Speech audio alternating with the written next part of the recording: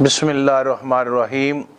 الصلاة والسلام علیکہ یا رسول اللہ وعلا آلکا واصحابک یا حبیب اللہ۔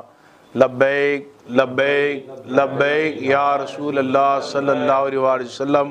تاج دار ختم نبوت زندہ باد زندہ باد زندہ باد آج تحریک لبیک یا رسول اللہ پاکستان کی مرکزی مجلس شورا کا اجلاس جامع مسجد رحمت اللہ عالمین میں قبلہ حضرت علامہ قاضی محمود احمد آوانی صاحب سرپرست اعلیٰ تحریک لبیک پاکستان کی زیر صدارت منعقد ہوا، جس میں مجلس شورا کے اراکین نے شرکت کی اور اس موقع پر بہت سے فیصلے کیے گئے ہیں، جن سے میں کارکنان جو ہمارے تحریک لبیک یا رسول اللہ پاکستان کے ہیں اور ذمہ داران ہیں، ان کو آگاہ کرنا چاہتا ہوں۔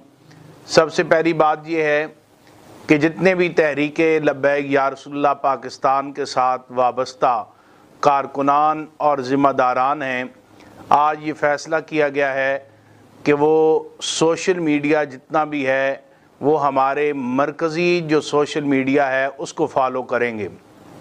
ایسا کہ آپ حضرات جانتے ہیں کہ تحریک لبیک یا رسول اللہ پاکستان پر یہ اعتراض کیا جاتا تھا کہ یہ عدالتوں کو نہیں مانتے۔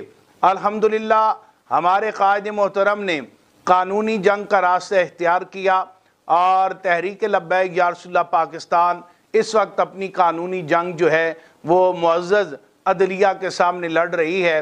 حکومت وقت نے ہمارے قائد محترم کو بلا جواز جو ہے وہ گرفتار کیا ہوا ہے۔ عدالت عالیہ لاہور ہائی کورٹ جو ہے ان کے حق میں دو مرتبہ فیصلہ دے چکی ہے۔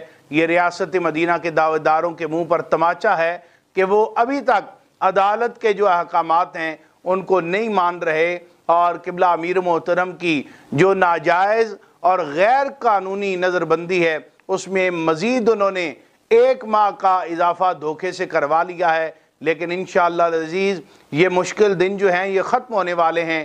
تحریک لبیک یا رسول اللہ پاکستان کے شورا کے اراکین، قائد محترم اور دیگر جو ہمارے ساتھی اس وقت جیلوں میں قید ہیں، انشاءاللہ ان کی قربانیاں رنگ لانے والی ہیں۔ اللہ کا فضل ہونے والا ہے اور قبلہ امیر مجاہدین کی دعاؤں سے، تاجدار مدینہ کی نگاہ سے، ربیع الاول شیف کی آمد آمد ہے۔ اور اللہ کے فضل سے ربیع الاول میں جہاں تاجدار مدینہ کی آمد کا یہ مہینہ ہے، انشاءاللہ تحریک لبیک یا رسول اللہ پاکستان کو بہت سی خوشخبریاں ملنے والی ہیں۔ ہم اللہ کی بارگاہ سے بہت سی امیدیں لگا کر بیٹھے ہوئے ہیں اور انشاءاللہ وہاں سے ہمیں کرم کی بہت امید ہے۔ اس کے ساتھ ساتھ ہم مختلف ریاستی اداروں کو اور ایجنسیوں کو یہ پیغام دینا چاہتے ہیں۔ کہ تحریک لبیک یا رسول اللہ پاکستان اپنے جو شورا کے اراکین ہیں، ان کے جو پیجز ہیں، ان کی ذمہ دار ہے۔ ہمارا مرکزی جو سوشل میڈیا کے پیجز ہیں، ہم ان کے ذمہ دار ہیں۔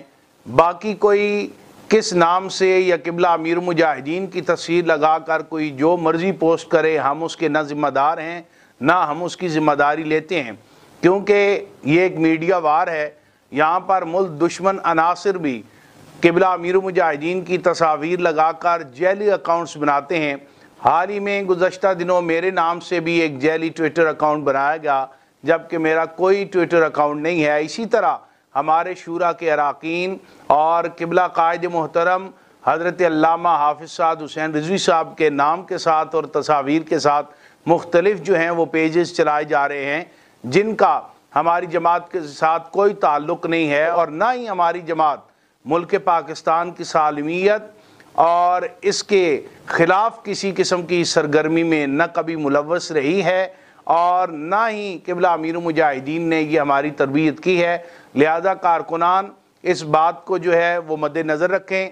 اس وقت چونکہ انڈیا کو افغانستان میں منہ کی کھانی پڑی ہے اور وہ ایک شکست خوردہ عناصر میں شامل ہو چکا ہے اور وہ اپنی شکست کا بدلہ پاکستان کے اندر بد نظمی اور بد انتظامی کے ذریعے اور امن و سلامتی جو پاکستان کی ہے اسے طے و بالا کر کے لینا چاہتا ہے۔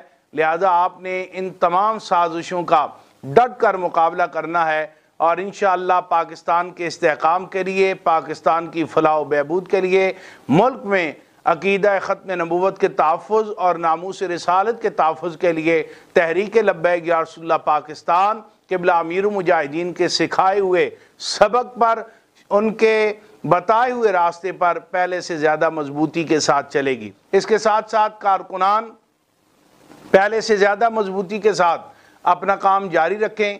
جہاں تک جماعت کو کلدم قرار دینے کا مسئلہ ہے وہ ہماری قانونی ٹیم بڑے آسن انداز سے مقدمات لڑ رہی ہے۔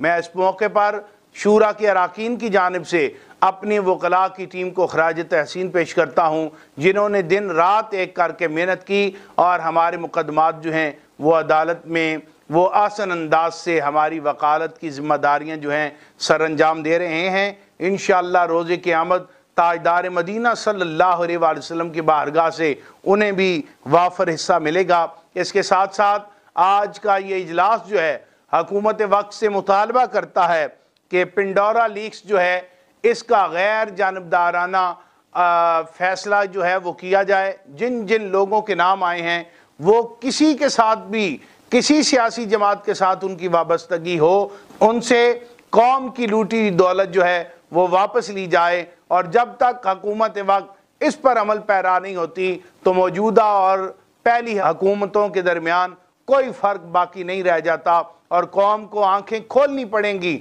کہ پہلے جو پاناما لیکس آیا تھا، اس میں بہت سے لوگ شامل تھے۔ آج یہ پنڈورا لیکس آیا ہے، اس میں بہت سے لوگ شامل ہیں۔ ان لوگوں نے پاکستان کو لوٹ کر اپنی تجوریاں بری ہیں۔ انشاءاللہ وہ وقت آنے والا ہے کہ قوم ان سے اپنے اس ملک کے ساتھ جو انہوں نے زیادتی کی اور لوٹا ہے، ایک ایک پائی کا ان سے حساب لے گی۔ اس کے ساتھ ساتھ حکومت وقت ہر مکتبہ فکر کے لوگوں کے ساتھ ظالمانہ اقدامات کر رہی ہے۔ جس طرح کہ ابھی جو ڈاکٹرز ہیں، ان کے ساتھ بھی ستیلی ماں جیسا سلوک کیا جا رہا ہے۔ وہ اس ملک و قوم کے بچے ہیں۔ ان کے مستقبل کو دو پر لگایا جا رہا ہے۔ آج کا اجلاس حکومت وقت سے یہ مطالبہ کرتا ہے کہ ان ڈاکٹرز کے مسائل کو حل کیا جائے، انہیں یکساں مواقع دیے جائیں تاکہ وہ لوگ ڈاکٹر بن کر اس ملک و قوم کی خدمت کر سکیں۔ آگے آنے والے دنوں میں ربیع الاول شریف کی محافل منعقد ہوں گی۔ تحریک لبیک یا رسول اللہ پاکستان کے کارکنان، ان کی کامیابی کے لیے اپنا کردار ادا کریں اور اس کے ساتھ ساتھ آپ نے کسی افواہ پر کان نہیں درنا کوئی بھی اجلاس ہوگا، کوئی ربیع الاول شریف کا جلوس ہوگا، اگر مرکزی پروگرام ہوگا تو اس کا اعلان مرکز کی جانب سے کیا جائے گا اور اس کے ساتھ ساتھ قبلہ امیر محترم کی رہائی کے حوالے سے بھی جو اعلان ہے وہ مرکز کی جانب سے کیا جائے گا۔ آپ حضرات نے اس کو فالو کرنا ہے۔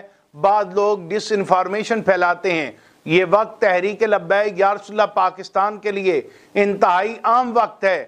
چونکہ حکومت وقت کے پاس ابھی تک کوئی ایویڈنس نہیں کہ وہ ہمیں قلدم قرار دے۔ وہ اس معاملے کو طول دینا چاہتے ہیں اور وہ یہ چاہتے ہیں کہ تحریک کے نام پر مختلف لوگوں سے فساد برپا کر کے یہ معاملات ان کے کھاتے میں ڈالے جائیں۔ ہم نے بڑی سمجھداری کا مظاہرہ کرنا ہے۔ انشاءاللہ یہ ایک مقدس مشن کی تکمیل کے لیے قبلہ امیر مجاہدین نے یہ جماعت بنائی ہے۔ اور اس مشن کی تکمیل تک ہم نے اپنے قائد محترم کے ارشادات کے مطابق آگے چلنا ہے۔ اللہ تعالیٰ اس ملک پاکستان کو استحکام عطا فرمائے اور ہم سب کو پاکستان کے استحکام کے لیے، سلامتی کے لیے، ترقی کے لیے مل کر کام کرنے کی توفیق عطا فرمائے۔ اور ہماری دعا ہے کہ اللہ تعالیٰ ربی الاول شریف کے مہینے کی برکت سے حضور علیہ السلام کی آمد کی برکت سے بہت جلد تحریک لبیک یا رسول اللہ کے کارکنان اور ذمہ داران اور ہمارے قائد محترم جو ہیں، انہیں باعزت اور باوقار رہی عطا فرمائے۔ اس موقع پر آج کا یہ جو اجلاس ہے، پاکستان بھر سے بشمور آزاد کشمیر اور بیرونی ممالک سے جتنے علماء و مشائق نے،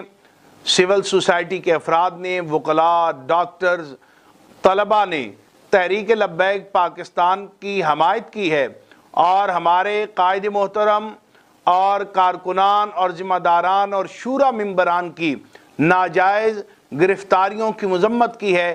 اس پر ہم ان کے تہ دل سے شکر گزار ہیں۔ اور یہ حمایت اس لیے ہو رہی ہے، ہر مکتبہ فکر کے لوگ تحریک لبیک کے ساتھ اظہار یکجہتی اس لیے کر رہے ہیں کہ ہمارا کاز جو ہے وہ بڑا مقدس کاز ہے اور وہ کاز ہے ناموس رسالت کا، ختم نبوت کے تحفظ کا۔ انشاءاللہ العزیز، ہم پوری قوم کو یہ یقین دلاتے ہیں کہ آپ نے جن محبتوں کا اظہار کیا ہے، جس عقیدت کا اظہار کیا ہے اور جس اعتماد کا اظہار کیا ہے تحریک لبیک پاکستان پر، انشاءاللہ تحریک لبیک پاکستان کے شورا کے اراکین جتنے ذمہ داران ہیں، ہمارے قائد محترم ہیں اور ہمارے کارکنان ہیں یہ پوری قوم کو اور امت مسلمہ کو یہ یقین دلاتے ہیں کہ انشاءاللہ ہم اپنے قائد علامہ خادم حسین رضوی کے مشن سے ایک انچ بھی پیچھے نہیں ہٹیں گے اور ختم نبوت اور ناموس رسالت کا تحفظ ہر میدان میں اور ہر جگہ کیا جائے گا۔ انشاءاللہ تعالی وہ دن دور نہیں جب پاکستان میں بھی تخت پر حضور علیہ السلام کا دین آئے گا۔ اللہ تعالیٰ اس ملک پاکستان کو استحکام عطا فرمائے اور حکیمانوں میں اسے اسلامی جمہوری اور فلاحی ریاست ہمیں بنانے کی توفیق عطا فرمائے۔ لبیک لبیک لبیک یا رسول اللہ صلی اللہ علیہ وسلم تاج دار ختن نبوت تاج دار ختن نبوت۔ من سب نبیت فقتلوہ فقتلوہ